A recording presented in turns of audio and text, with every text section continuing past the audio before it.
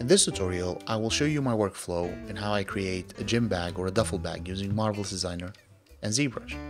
I'll start by creating a reference board and a couple of simple sketches, just so I can use them as a guide. Once I have those, I can start creating the main shapes inside of Marvelous, using a couple of color guides just to help us understand all the parts that are going to uh, create the final bag.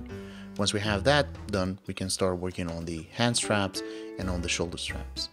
Next, we'll move to the zipper, and I'll be showing you how to create a zipper using the zipper tool inside Marvelous.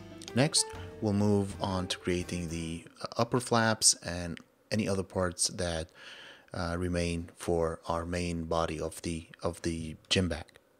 Once we have that ready, we'll move into ZBrush and we'll start creating the, the buckles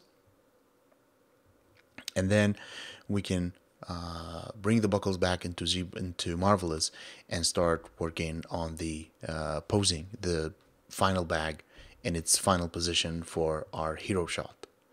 Once we're happy with the uh, with the pose, we can start adding the final details like the stitching and uh, then prepare the model to be exported into into ZBrush.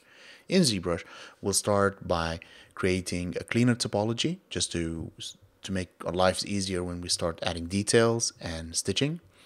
And also, I'll be showing you how uh, I UV map my models before I start adding any small or tiny folds here and there.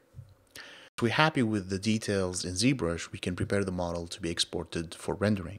I will be using Adobe Dimension to render the final image. I have been using the Adobe Dimension for a while now, and I love using this tool because it's really simple, it's really easy to use, and the results that you that comes out of it, it is really fast for, and the and the quality is really good for how much time you spend on each image. And it gives me the ability to create multiple shaders, multiple looks without too much hassle. I really hope you find this tutorial helpful.